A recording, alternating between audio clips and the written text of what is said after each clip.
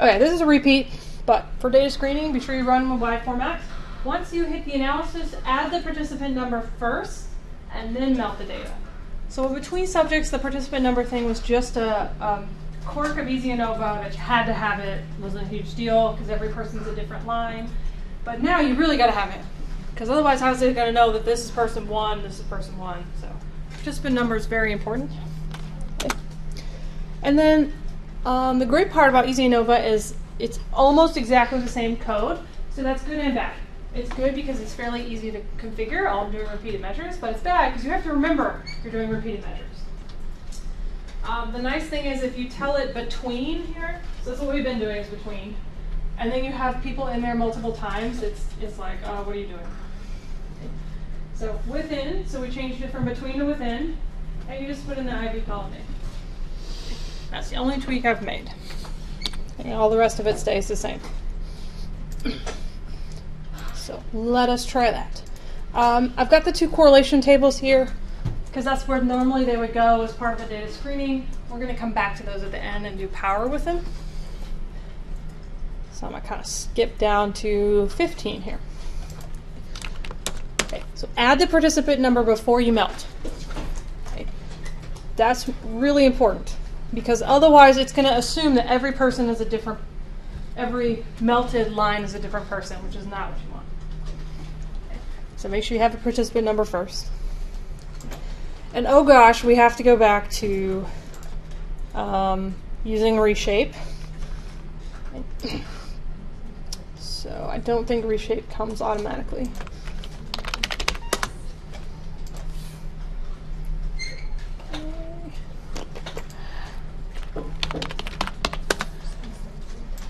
get my couple of package issues installed here.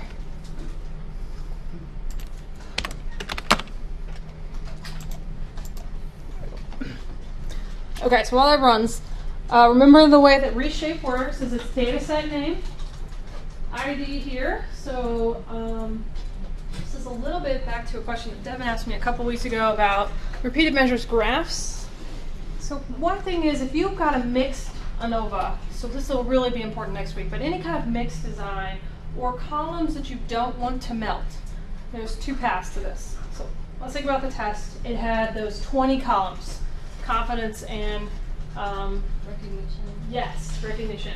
Actually, this is something we had talked about in lab too, where I said, don't do that. It works right now, but it won't work later. Um, you have all these columns. If the columns are categorical, uh, Melt will assume, if you leave it out, that you want it in ID. The columns are not categorical, it will assume that you want them in measured. And that is why you got 10 or 15, 20 bars on your graph. Because what happened is that you put in the dataset name, the IV, you put in the two categorical variables that we wanted to stay the same, and then under measured, people just put uh, the recognition average and the confidence average that data set still had 20 other columns in it. And the function just goes, okay, whatever, and stuck it into measured. And so it created, it melted all 22 columns together. Am I making sense? Right? So you just didn't tell it what to do with the middle 20. So it just stuck them with the other two. So that's why you have such a crazy graph, is because it took all 22 columns and put it into one column for you. So two solutions to that. The big one being put them here under ID. You don't, if you don't want them to melt, you want them to stay where they are, make sure they're listed under ID. Or drop them before you start.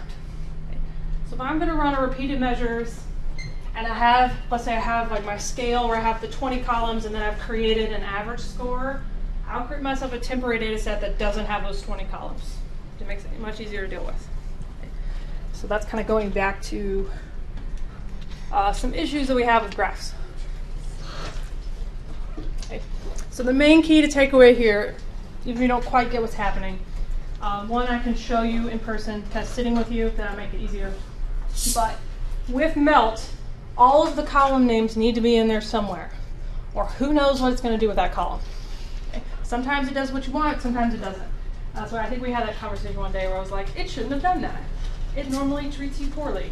So, um, so all the uh, column names here, somewhere, in ID or measure. Okay. After that saga, let's melt the data. So data set name, columns I want to stay the same, which in this case is participant number, and then melt the rest. Okay. Helps if you turn on the library first. So now I have my long data set where each participant's got four lines, once for each time. So we're going to control for the fact that they've taken it four times and the fact that people are just different people.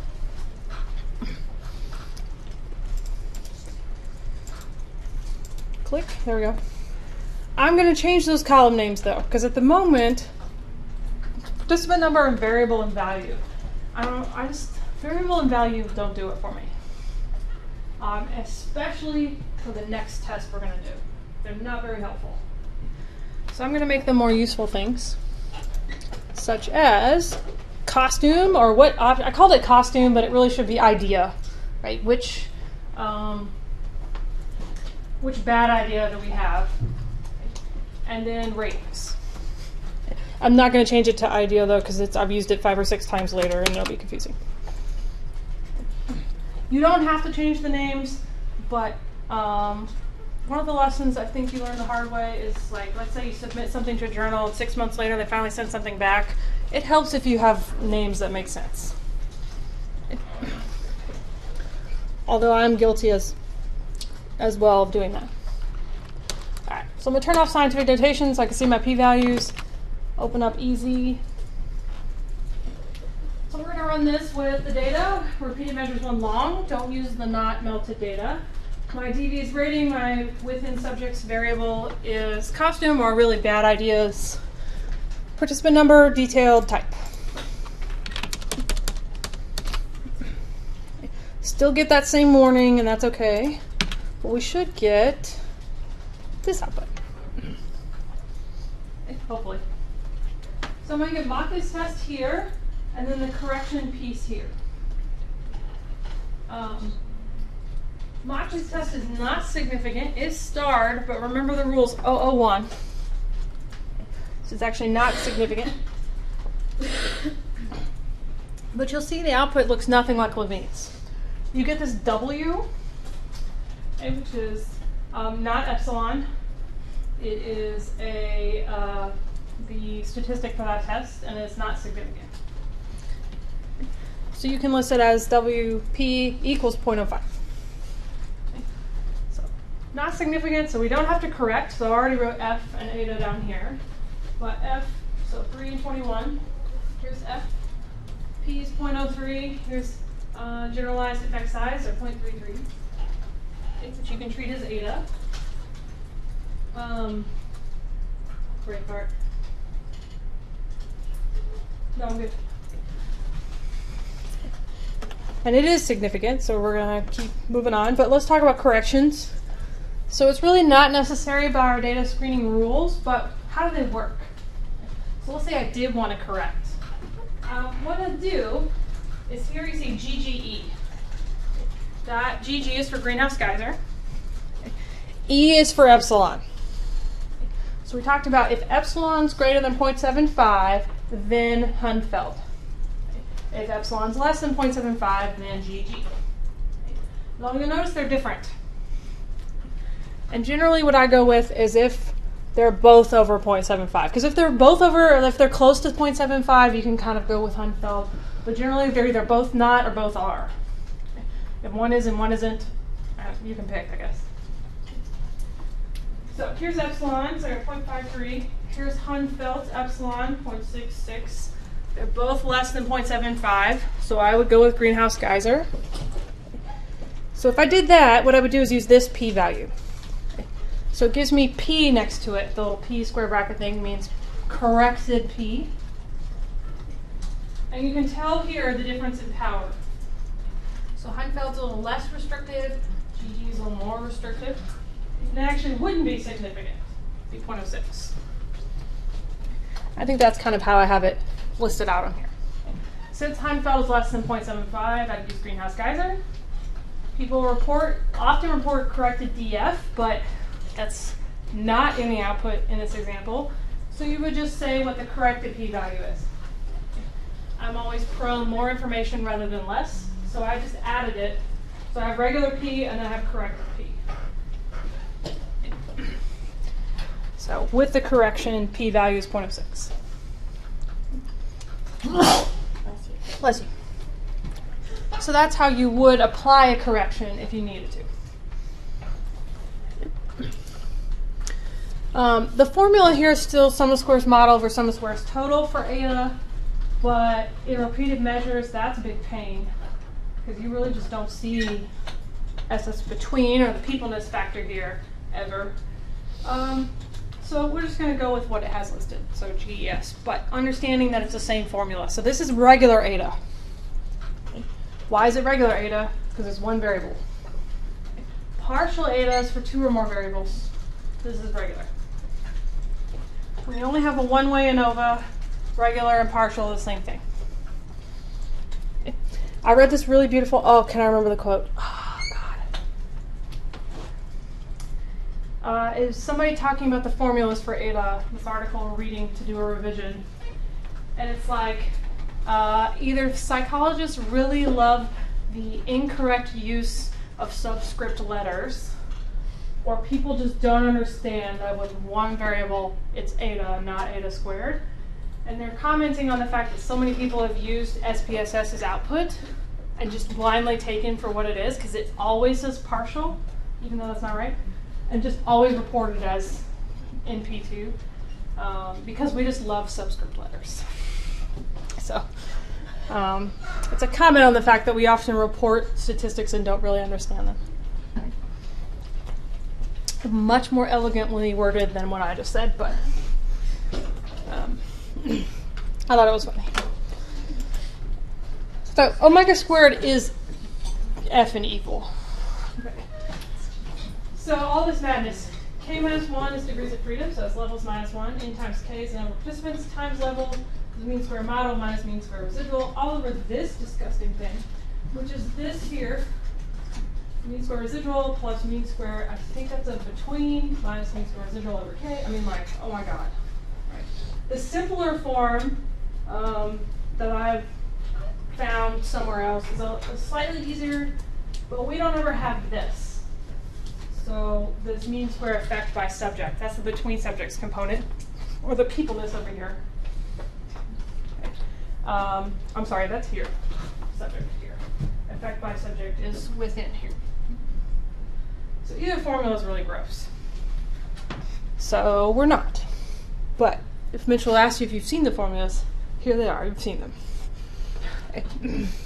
I did my I did my due diligence and I have shown you the formula. okay, so for post-hocs, skipping omega. Um, this is a one-way repeated measures because I have one IV. Um, so we'll still have to deal with independence because it's dependent T. and so when I ask you this question on this assignment, it's dependent T. Why? Because it's repeated measures. Still Bonferroni. So the answer to post-hocs is always Bonferroni this semester. Um, the problem is next week when we do mixed designs, we got to get them straight. That's where people tend to mess up. Uh, the nice thing about the Bonferroni and, ezANOVA, so things are very consistent across these chapters, is that the code is the same except now paired equals true. You don't need this line. var equal equals true does nothing for between uh, for dependent t. That's why there's a note next to it. Um, but it won't hurt you either. So for cutting and pasting different code snippets, you can use the same one as independent t because it's important for independent t to have that in there. You're going to do a Welch correction, even if you didn't mean to. But paired equals true is the important part. So now we're doing a paired t-test because it's repeated measures, so we're going to do dependency. All right, so let's look at that here. So you should get this output. We're going to interpret it the same way. So here's why we, we got to know what we're doing. Because this pairwise comparison, it says the same thing no matter which way you run it. So if you run a dependent T on independent data, you've really messed up the assumption here, right? Because um, the assumption is that these are the same people. That's going to give you more power, so it's a type 1 error. Um, if you run independent T on dependent T, you've lost power. And you haven't control for independence. So understanding what type of data you have is really important. But we would interpret this the same way, so I made the same kind of chart. Since we have four levels, that is six tests, which takes forever to do effect size for, but it's all in there. That's why the code's like 400 lines long, is because it has all the different effect sizes. So I would say my hunt to costume is significant. Hunt, punch. So my haunted house is different somehow from small costumes or punch bowls, and everything else is the same. And then if I look at these effect sizes, they're actually the ones that aren't significant still are kind of large. Uh, and this is the averages. So I'm probably missing effects because I only have eight people. So I have kind of a small power because eight's kind of a small number. Graphs, as long as you've melted your data correctly, graphs are the same. So the F size script, we would run that, and then I just included all the code. Okay. I'm not going to bore you with how all this works, right? But you would just spend some time, type in uh, the haunt information into costume, haunt punch, haunt party, etc., etc., through all of them. Uh, oh, I almost forgot the note here. What we've been doing is this.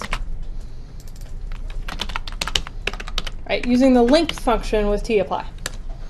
Right? And that tells me there's eight people in each level. Right? The problem with doing it that way is it almost allows you to forget that that's the same eight people in each level. So I purposely did this here on line 48 to help remind you that this is like, uh, these is the number of participants. This is really important for the next test, but I just started it here. Um, so there's only one in for dependent t averages because it's, it's all the same. So this is the same eight people over and over again. Um, and so you'll see this code. This is very uh, is not the same as last week on purpose. So it'll remind me that there's only eight people. Does that kind of make sense? Yes. Because if I'm looking at it this way, I'm thinking, okay, there's eight people in hot and eight people in costume, and it might be easy to forget that this is the same eight people in both. And then dependency average, I know we haven't done in a while, so it's mean 1, SD1, mean 2, SD2. Uh, dependent differences would take you a long time because you would have to calculate the standard deviation, of the differences for every possible pairwise combination, which is six of them. So I, I like dependent T averages for a lot of reasons, and this is definitely one of them. It's just a little faster. Okay. So we would run all those. Not gonna. Right? They're here in this chart. Now, if I want to make a graph, so run my cleanup code. This is a one-way graph, a one-way bar graph. So data set, aesthetic ID, comma DB. And then I cut and pasted this bar graph code from chapter 4. So it is the same. Damn you, HMISC.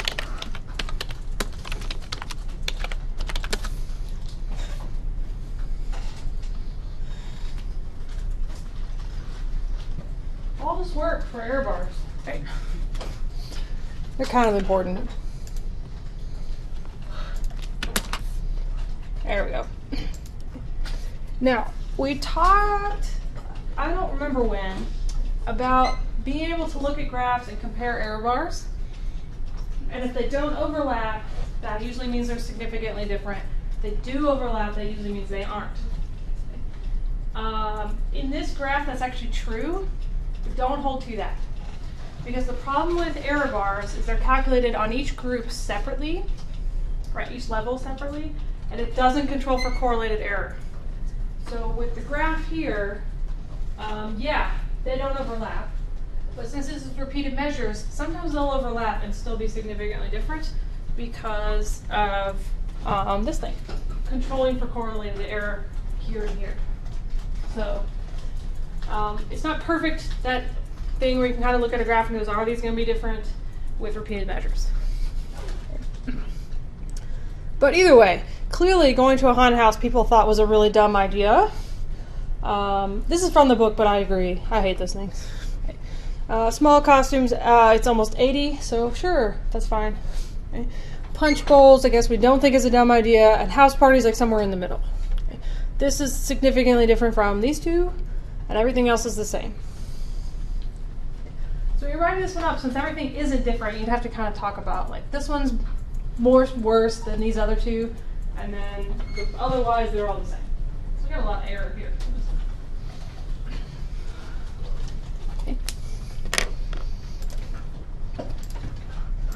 Okay, well, let's do power. Power for repeated measures is annoying. Sorry. So let me open G power here.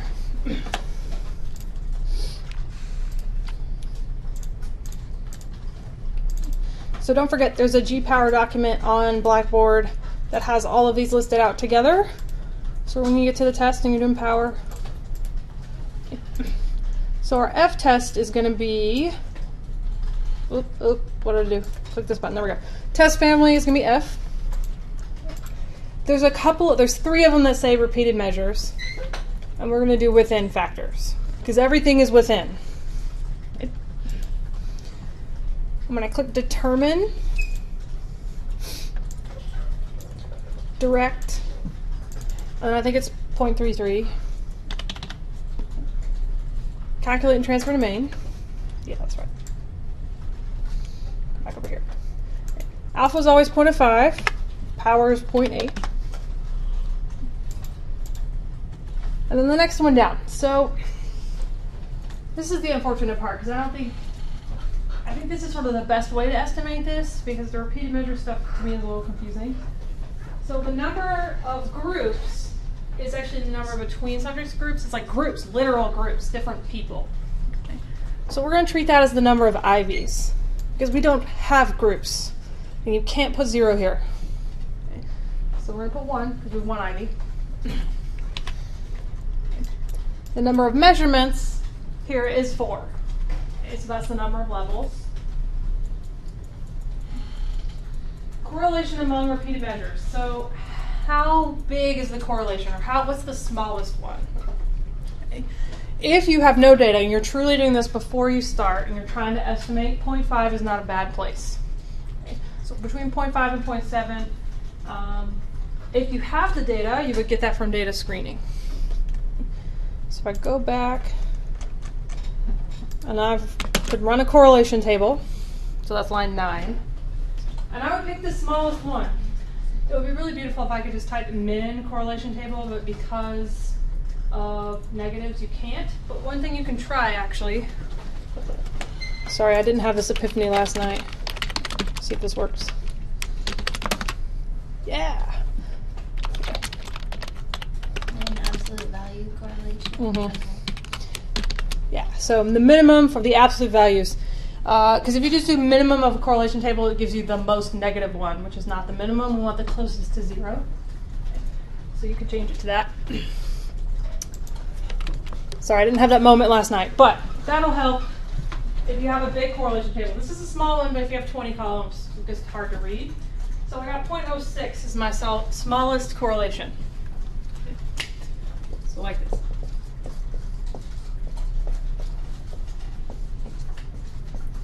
Close, close, close. So we have three parentheses at the end.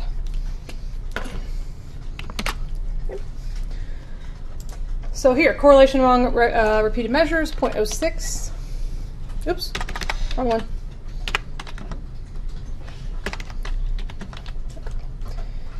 And then if you're going to correct for sphericity, so if you know that sphericity uh, was significant, you would enter either the epsilon under GGE or HFE, whichever one you wanted to correct with. That should say non-sphericity correction with a C. Good grief. All right. Hit calculate.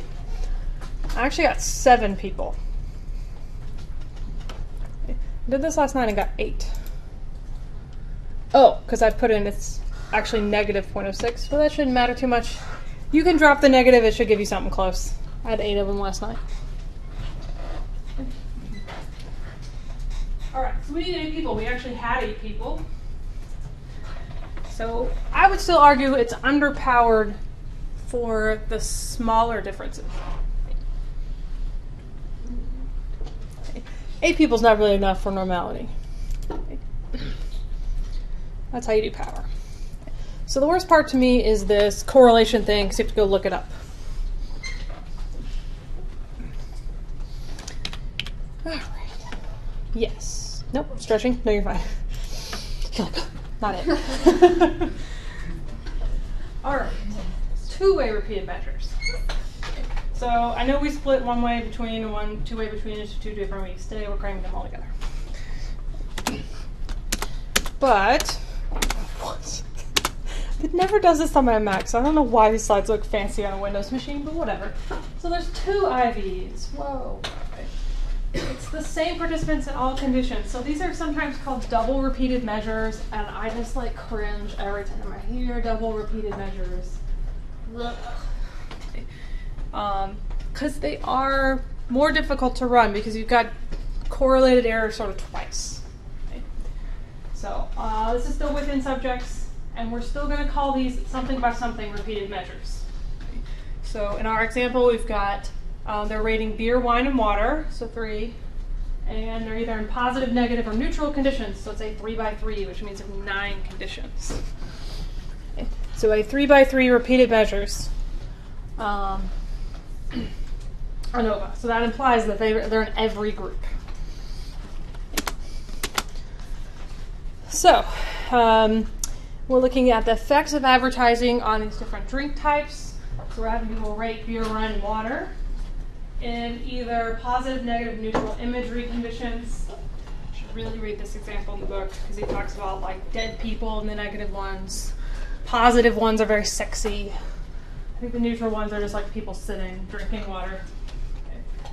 So we're evaluating the product from negative 100 to positive 100. It's a really big scale here. and the way that this breaks down is it flies in from the left and right here. Um, I, I, took these from the book and I forget that they have these weird animations. It's the same idea that we have on the board. So we have our whole batch of cookies that we break into me minus my level. But me minus my level, I'm in two of them now. So we've got the effect of me minus my level for just the drink type I'm rating, me minus my level for just the imagery, and then the condition version. So I'm not going to show you the math on these at all. Just get the basic idea that uh, within participant variance is sort of me minus my condition. And we break that down into just this level, just this level, or the interaction. Very similar to between subjects, right? Me minus my level, me minus my level, everything else. But here's a new thing. Each one has their own error. So between subjects, it's me minus my level, me minus my level, everything else, error. Okay, so mean, uh, no, sorry, level minus the grand mean, level minus the grand mean. Me minus my level is the error. Um, but with repeated measures, every single one of them gets a separate error term. So we sort of do this for each one. So we're taking sort of me minus level and breaking that into the levels minus the grand mean and then leftovers at three times. So there's some serious cookie division going on. Okay. Um, and the math on this is wildly unfortunate because it has to control for the fact that it's the same people in all of the levels each time. So that's why the error is different for every single one. Because it, it, sort of ignores the other IV and then the interaction one includes both of them at the same time. This is one reason why I cringe at these, is because there's a lot going on. Uh, this is where a lot of people switch to multi-level models. Profile analysis. It only took me an hour. The P word. profile analysis. Just jumped in my head. I was thinking process, and process is another thing. Um, so that's all I'm going to say on that. It's very similar, and you'll notice that this is not in the F table explained. I think there's a little note that says this is gross. So get this idea of I've got the peopleness over here, and then for two-way designs, this is essentially repeated three times.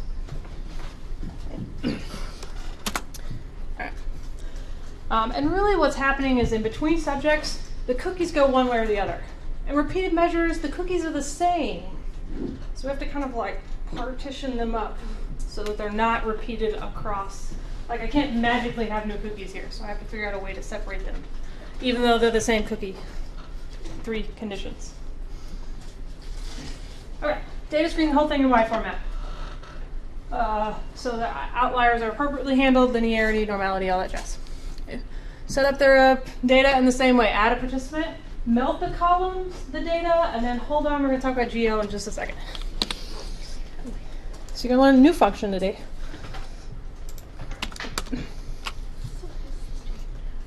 Oh, let me go down here to repeated measures two ways.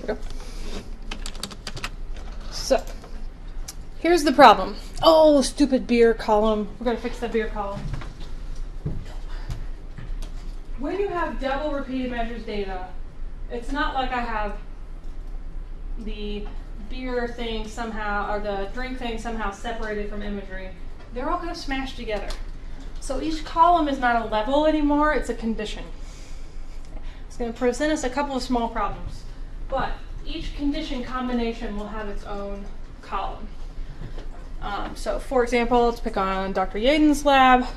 So if they're testing different sensory gating pieces across all of these different um, head arrays, are you using big array? Just a couple of electrodes? Two, okay, well, that's easier. But So they, they have two electrodes and they're measuring multiple things on those electrodes. So they have each electrode by each time point by each item. So you can imagine how much data this is. Huge data sets, right? Millions of columns. But I can't just say, well, here's all of the data for this electrode and this one item and make different data sets for them. That doesn't make any sense. So you end up with these like giant columns. Um, so first, let's fix this column name issue. Column name, names, names. Okay, so RM2, right, square bracket 1. Okay, you should call it beerpos. So if yours has the double I issue, fix it first. At the very end of the semester, hopefully column names will be like the easiest thing. So I'm going to reshape those. And I'm going to have my dataset name, participant number needs to stay, and then each of the nine conditions. Now in this measure thing, you can put them in any order you want. They don't have to be in the same order as the data set, but pay attention to the order you put them in because that's going to matter. Okay. I have them in the same order as the data set, but you don't have to do it that way.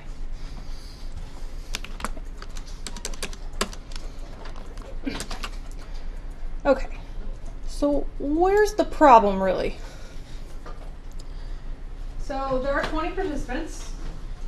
Um, and what happened is now I have variable and value, but the variable column here is not levels, it's conditions. It's very tempting to run a one-way ANOVA using nine conditions. Don't do that, that's cheating. And you'll have a lot of trouble with it because it isn't stacked. Right? So we're control that we have IV, IV, and conditions. And so now I have to find a way to separate those out. So what we're going to do first I'm going to rename them something useful. Um, so I've got participant number, what group they're in. This really should be what condition they're in and um, their attitude rating. Do not overwrite the original variable column because we're going to use it to make sure we're doing this right. So come up with two different columns. I'm calling one drink and one image because that's what the IVs are.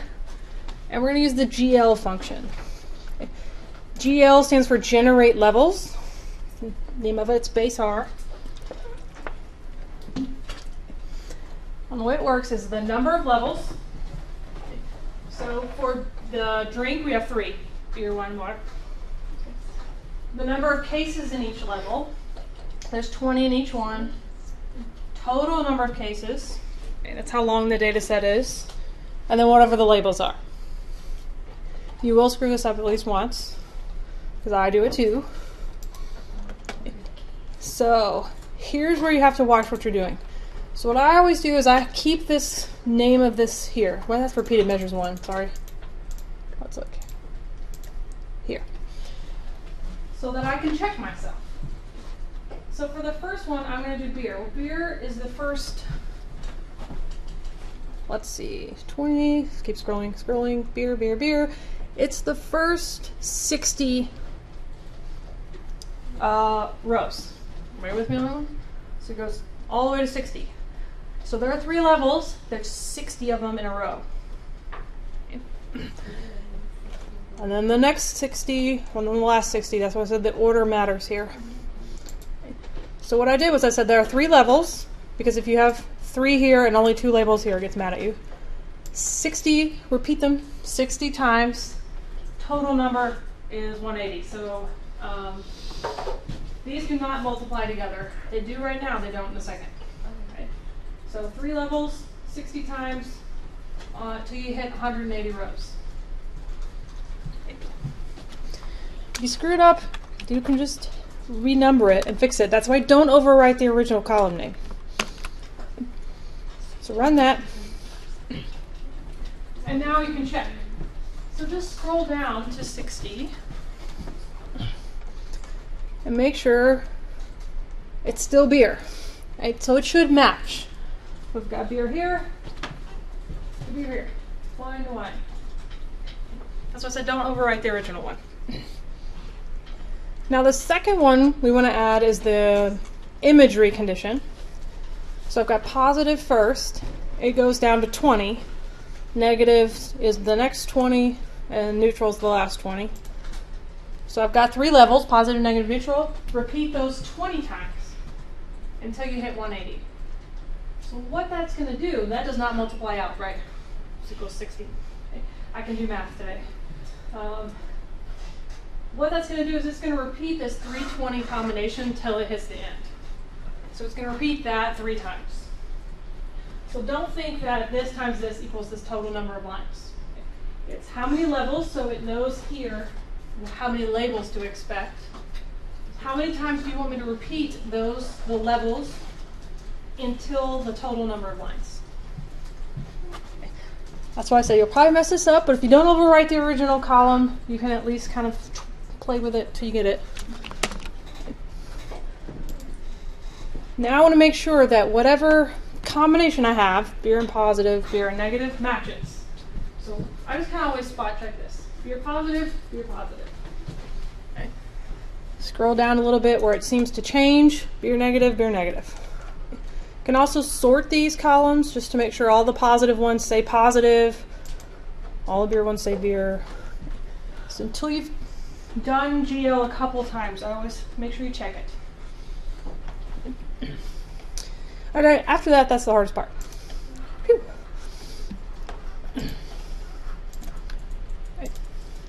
Still ezANOVA. Uh, mapped onto last week, we used that dot function instead of C or list because that would make too much sense. Right? Variable, common variable. And where's my code here? Here. You should get a whole bunch of sphericity corrections. So, um, here for drink is significant. So hence the we definitely need a drink part. Uh, I can be funny every once in a while. Uh, image here, while it says it's got a little star next to it, is not less than 001, so it's okay. And then drink by image, the interaction is not significant. Levene's does not do this by level. It treats everything as one giant group and just runs it. Sphericity does treat it by level and condition.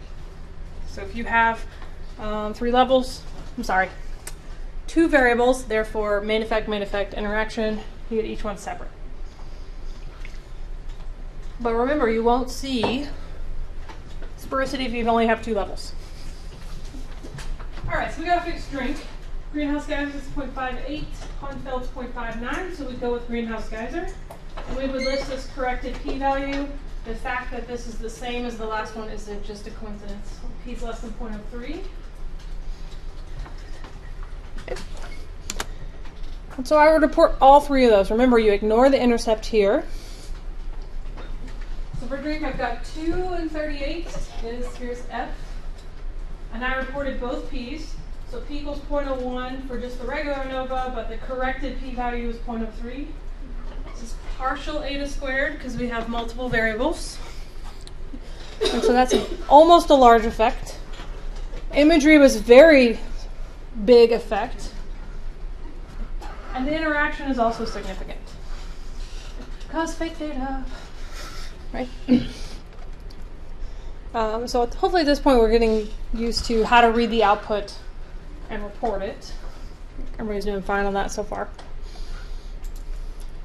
So what now? The reason this code's so damn long is because I put in how to analyze the main effects. But remember, we talked last time about if the interaction is significant, people often ignore the main effects. And in that case, since all three of them are significant, it's really probably a good idea. Because how many possible combinations could we do? A lot. A lot, a lot. So if I have just drink, so back to family versus experiment.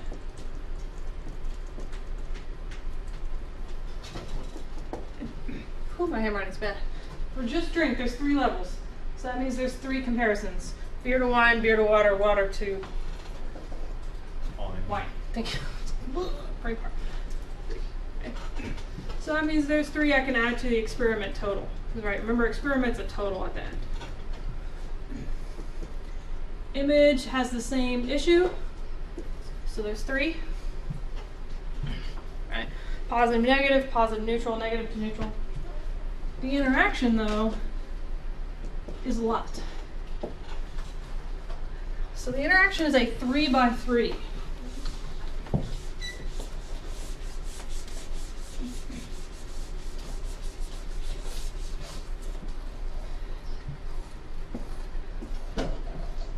So in this case, no matter which way you split it, it's a square design, so I could split either direction.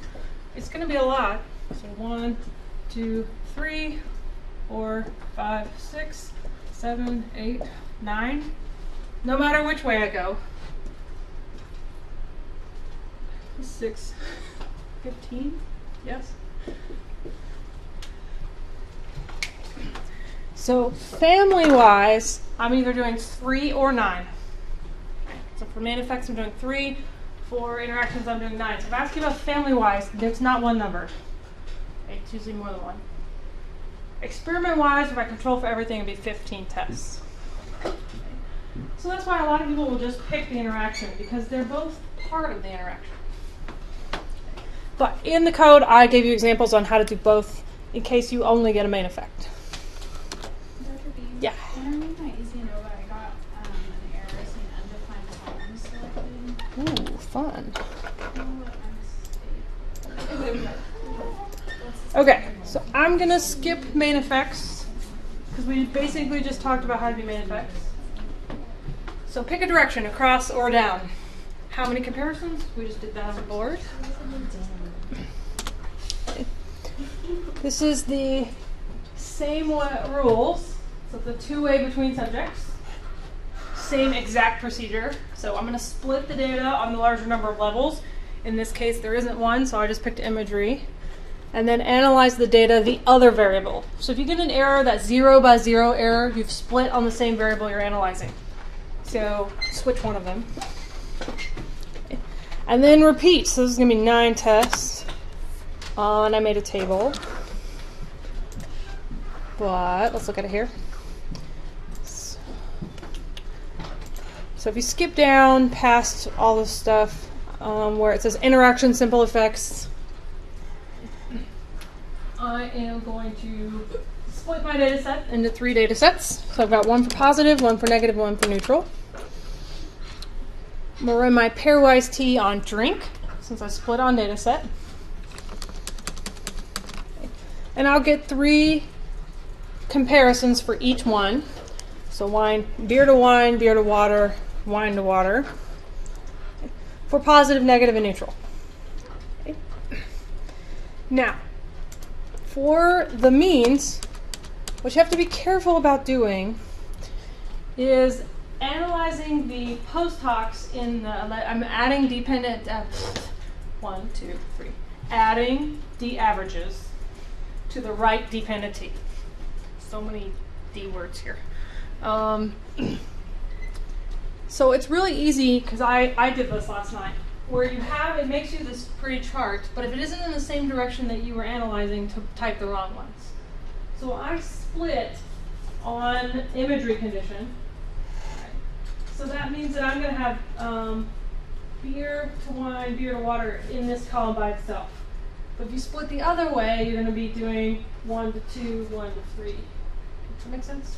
So picking the right pairs of means, which is why it's probably easier to run the test and make this table and add the effect size to the table. So you make sure you're pairing the right two together. So I want a positive add comparing beer to wine. So here, I would look at positive beer to wine. And those are not significantly different. So positive adds are we're getting the same rating for beer and wine. But in a positive ad comparing it to water, it's also not different except wine is better than water.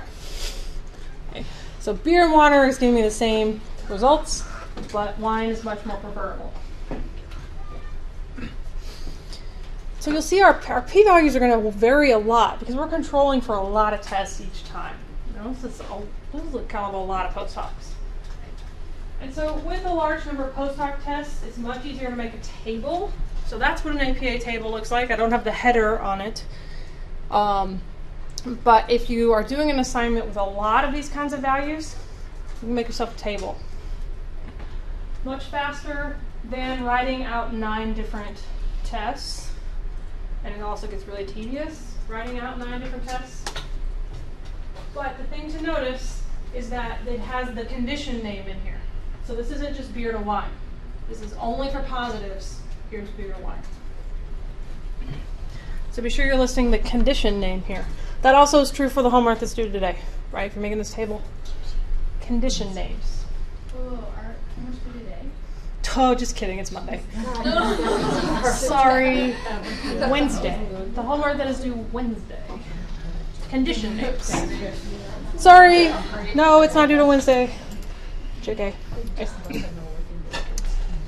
All right, so then the code goes through all nine of these combinations.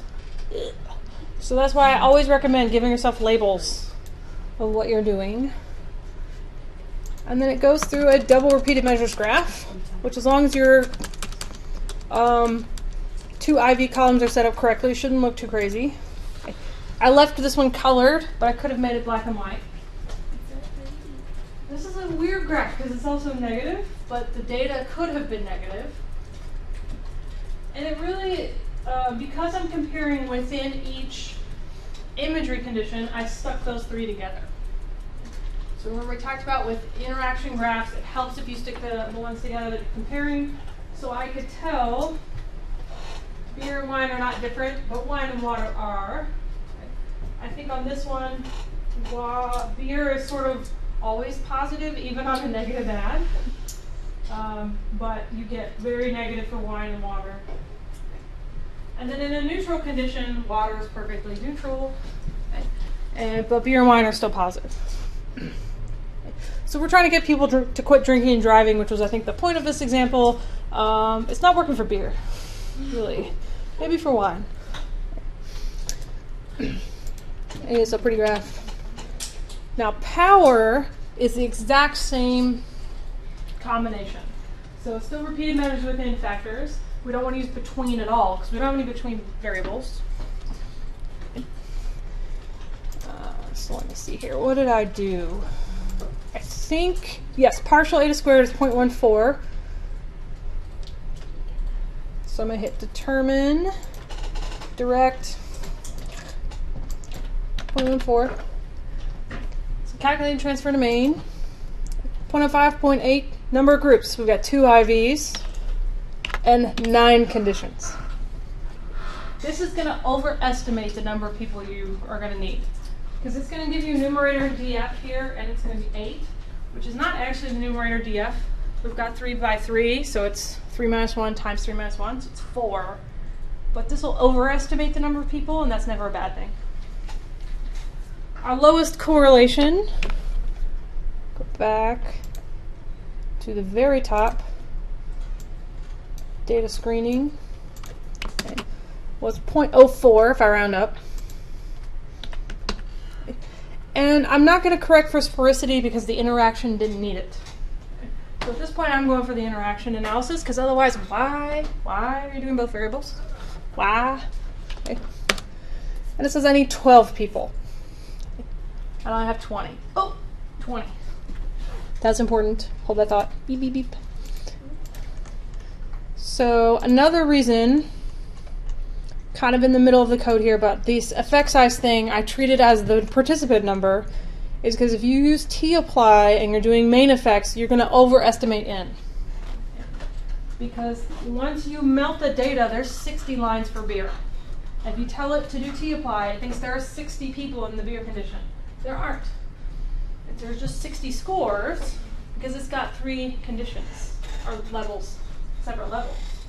And so that's why for in here, I'm always doing length of the participant number so that I know every single time the answer on that is 20. There are 20 people in the study, but they've taken, they've done uh, 60 ratings each. No, something, no, 60, uh, nine, right? Yeah, they're in every single level. They have nine ratings each. Nine times 20 is 180. Yes, that makes sense. Um, but if you use tapply to do the main effects, it gives you the wrong in.